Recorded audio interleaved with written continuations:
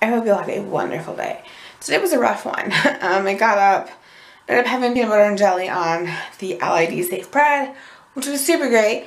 Um, and then dinner came around, I'm like, oh yeah, this chicken that I bought the other day, that's safe.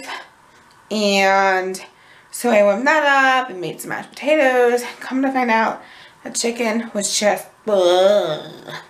I do not like it at all. Um, so I used to get this one chicken, but there's now an banned ingredient in it, which stinks. Um, so there is definitely no way in which, I don't know. So my mom's going to the store tomorrow and get up some regular chicken for me. Hopefully Wegmans chicken uses, if it is marinated or soaked in, um, it'll be non-iodized salt or nothing preferably. But yeah, um, it was just a rough day. Like, I totally had forgotten a whole bunch of like things that I wanted to get to prepare for this and I didn't. So I really didn't have much in the house. Thankfully we had some Lucky Charms. So I'm able to eat those dry because our almond milk has sea salt in it and I can't have sea salt.